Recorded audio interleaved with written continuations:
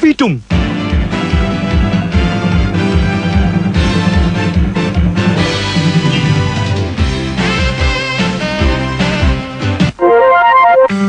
Thông báo khai trương trung tâm mua sắm Sài Gòn Nguyễn Kim Tân Bình. Khuyến mãi giảm giá 30% toàn bộ hàng gia dụng nhà bếp và nhiều ưu đãi bất ngờ. TV, LCD, tủ lạnh, máy giặt, máy lạnh và nhiều sản phẩm khác.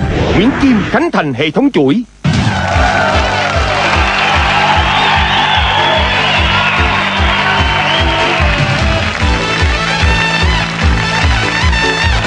Chào mừng các bạn đến với chương trình chung sức do đài truyền hình thành phố Hồ Chí Minh phối hợp với công ty Đông Tây thực hiện.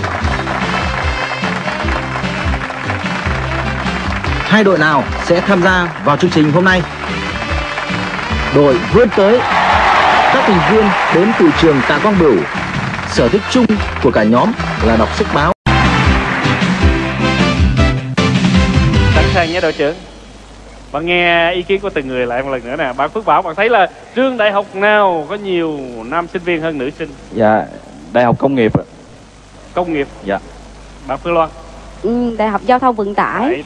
đại, học giao thông vận tải bạn quang thượng Theo em nghĩ đó là Đại học Giao thông Vận tải. đội trưởng À, em cũng chung quan điểm với tất cả các bạn là Đại học Giao thông Vận tải. đại học giao thông vận tải và đó là đáp án của đội Dạ vâng à.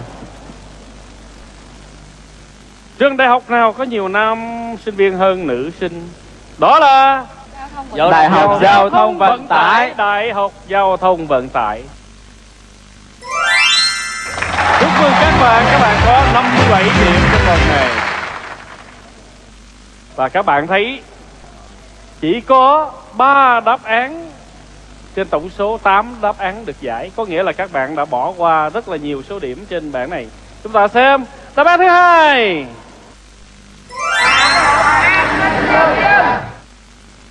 ba. Năm. Rất dễ đoán phải không các bạn? Bảy. Còn đáp án nữa. Đáp án thứ tám là gì? Trường đại học nào mà năm sinh viên đông hơn nữ? Dạ, đến đây thì bắt đầu thấy khó rồi đấy. Tại vì nhiều cái trường ờ, của nam sinh thì đã hiện và không nghĩ ra. Đáp án thứ tám. Kết quả sau vòng thứ hai, đội tắc ke 57 điểm và dẫn trước là vương tới 131 điểm.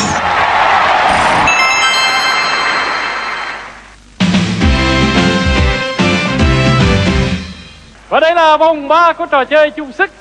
Thành viên thứ tư của hai đội sẽ bắt đầu. Xin mời!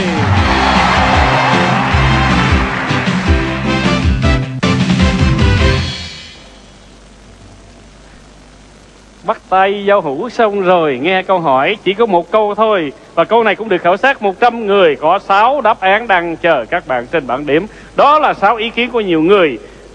Số điểm của mỗi đáp án vẫn chính là số người đồng tình với nó. Và các bạn nên biết thêm một cái điều quan trọng nữa. Đó là, Đây là vòng thi có số điểm nhân 2 Tất cả điểm số của vòng này sẽ được nhân 2 Nếu được đi du lịch trong 2-3 ngày bạn sẽ đi đâu? Em sẽ đi um, trong ngoài nước à, đi uh, Huế. Đi Huế Các bạn Dạ, đi Đà Lạt ạ. đi Đà Lạt mời hai bạn trở về đi Huế trong hai ba ngày thì đúng là hơi khó ha quý vị mời Dạ, nếu mà có cơ hội để đi du lịch trong vòng 2 ngày thì mình có thể đi Phan Thiết à. đi Phan Thiết nếu có cơ hội đi du lịch trong hai ba ngày bạn đi. Phan Thiết. Còn bạn thì đi đâu trong hai ba ngày? Chỉ có 2 ngày thì có thể là đi 2 hoặc 3 ngày không? Đi Vũng Tàu. À. Vũng Tàu. Bạn nghĩ rằng mình sẽ đi đâu nếu mà bạn có dịp đi du lịch trong hai ba ngày? Theo em thì em sẽ đi Nha Trang. bạn đi Nha Trang. Nha Trang. Hay quá. Bạn Phước bảo nếu có cơ hội nếu được đi du lịch trong hai ba ngày bạn sẽ đi đâu? Đi Cần Giờ ạ. đi Cần Giờ. Rất là gần. À, mà cũng hay nó du lịch sinh thái phải không? Đi Cần Giờ. Đội trưởng nếu có dịp đi du lịch trong hai ba ngày bạn sẽ đi đâu? À, em có thể ghé qua Đà Nẵng rồi đi xuống dưới à, À, phố cổ Hội An à. đi Đà Nẵng và xuống ờ, phố cổ Hội An. Dạ. Trong hai ba ngày bạn đi nhiều nơi Nếu mà như vậy thì em sẽ chọn phố cổ Hội An. phố cổ Hội An! Mời đội phương tới hội ý. Bạn Quang Thuận trong hai ba ngày thôi nếu được đi du lịch thì bạn sẽ đi đâu? Còn một điểm gần là Vũng Tàu đó là Long Hải. Đi Long Hải? Mời đội vương tới! Và nhiên bất ngờ bởi vì Long Hải cũng là một địa điểm du lịch rất gần và tiện cho chúng ta đi trong vòng hai ba ngày nhưng mà đội tắc kè lại trả lời không đồng tình với nhiều người trên bảng. Riêng đội à, vương tới các bạn chọn đáp án nào? Đã có chưa? Bạn Bích Ly bạn đưa ra đáp án nào trong khi thảo luận? Em nghĩ là sẽ đi à, du lịch đồng bằng sông Cửu Long. Đông bằng sông Cửu Long bạn? Em cũng cụ thể là đồng bằng sông Cửu Long là ở đâu các bạn? Ví dụ như là đi An Giang Kiên Giang Bạn. gì đó. À, em theo em thì à, em à, sẽ đi um, Phan Rang. Phan Rang đội trưởng Đây là các bạn có hai ý kiến. Còn em em nghĩ Phú Quốc cũng là một cái địa điểm rất là thú vị. các bạn đã thỏa thuận được cái đáp án Dạ. chưa đã được rồi thì các bạn trả lời Dạ. bạn sẽ đội trưởng. Vậy à, em xin chọn theo số đông của các bạn là đi Phan Rang ạ, đi Phan Rang Ninh Thuận, ý kiến của bạn thì là đi Phú Quốc. đi Phú Quốc và bạn chiều ý của các đồng đội của mình Dạ, theo số đông mà. đi Phan Rang Phan Rang, để xem Phan Rang sẽ dành số điểm trên bảng cho đội nào. Phan Rang! 180 điểm của đội Tắc Kè Các bạn xem nha, Coi hai đáp án còn lại trên bảng. Có trùng vào những đáp án mà các bạn nghĩ ra nhưng không chọn hay không? Đáp án thứ năm.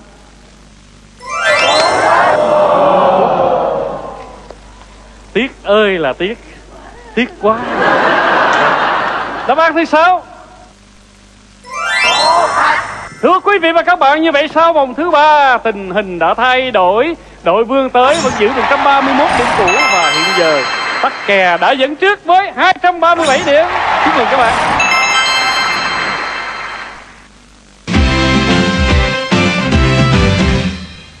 Sau đây là vòng thứ tư của trò chơi chung sức. Hai đội trưởng sẵn sàng. Xin mời một lần nữa.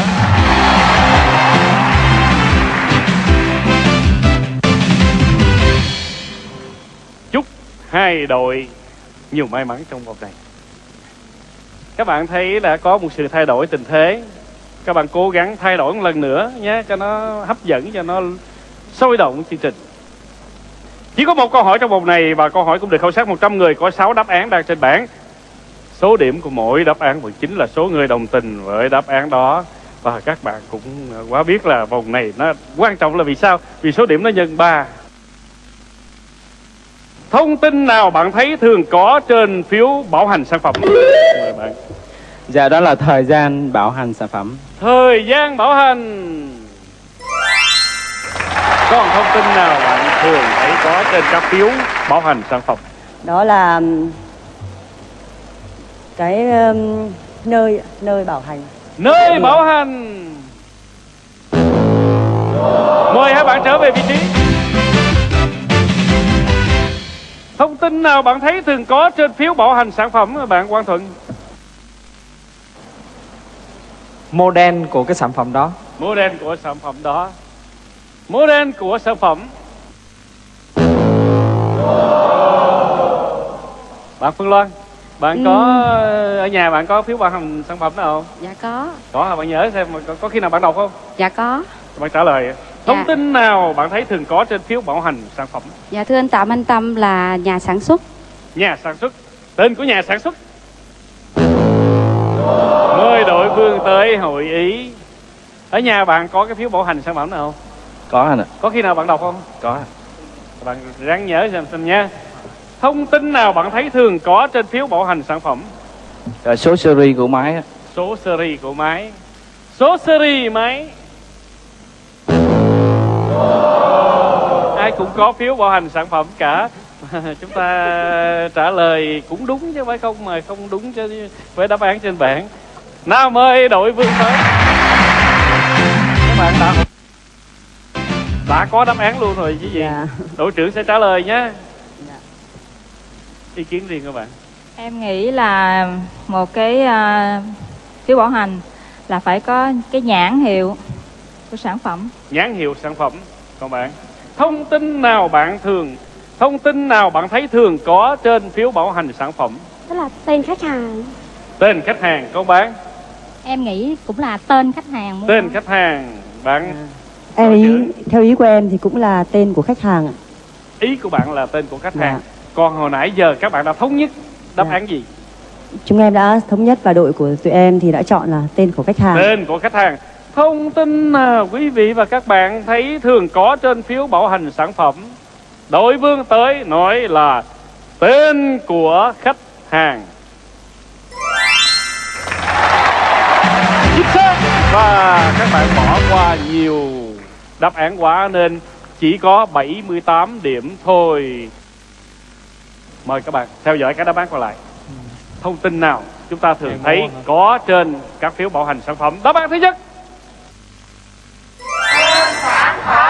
Bốn. Năm. Và sáu. Thưa quý vị và các bạn như vậy chúng ta đã biết ai là đội chiến thắng đội nào là đội bước vào vòng đặc biệt. Đó là tắc kè với 237 điểm chào các bạn. Các bạn không chiến thắng nhưng mà các bạn có một số điểm cũng gần gần bằng với bên chiến thắng. Đó là 209 điểm các bạn có. Giải thưởng trị giá 2 triệu 90 ngàn đồng và mỗi người có một thùng Pepsi. Xin mời các bạn.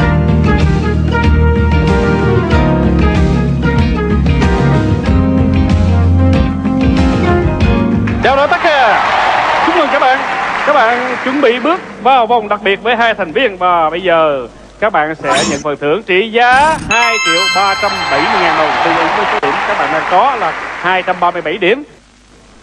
Và một thùng quà của nhà tài trợ dành cho mỗi người. Mời.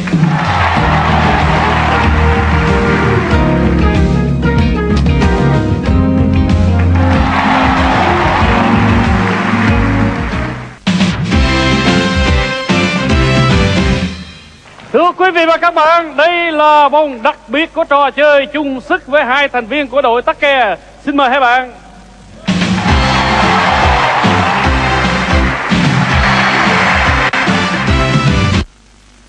năm câu hỏi của vòng này và cố gắng đạt được 200 điểm, 10 triệu đồng giải thưởng đặc biệt của chương trình sẽ thuộc về đội của các bạn. Ai trả lời trước nào? Mời bạn vào trong chờ đợi.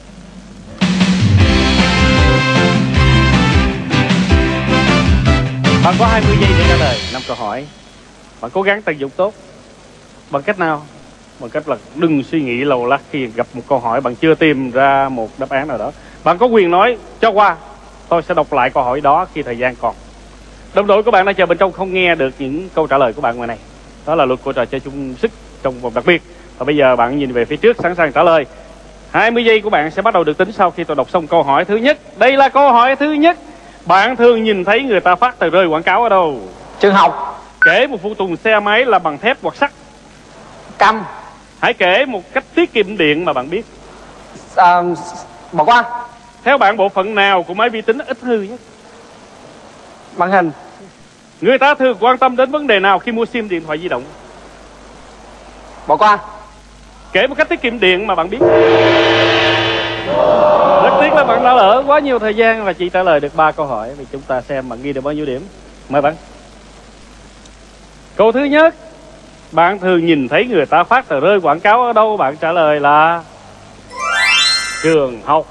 Khảo sát 15 Câu thứ hai, kể một phụ tùng xe máy làm bằng thép hoặc sắt, bạn nói là cái cái cầm xe. Khảo sát 14 điểm. Câu thứ ba, hãy kể một cách tiết kiệm điện mà bạn biết thì bạn không tìm ra đáp án mà bạn bỏ qua. Bạn lung túng quá hay là bạn không nghe rõ hỏi này? Nghe rõ nhưng mà chắc là lúng túng quá. Lung túng không tìm được đáp án phải không? Nhiều cách tiết kiệm điện phải không bạn? Câu thứ tư, theo bạn bộ phận nào của máy vi tính ít hư nhất? Bạn trả lời là màn hình. Với đáp án này thì đếm 32 điểm. Đây là một điểm rất cao. Chúc mừng bạn. Câu thứ năm, người ta thường quan tâm đến vấn đề nào khi mua sim điện thoại di động? Câu này cũng dễ trả lời, phải không? Nhưng mà bạn lại bạn có 61 điểm. Tất cả. Và bây giờ mời bạn trở về vị trí để đồng đội của bạn tiếp tục ghi điểm. Xin mời thành viên thứ hai.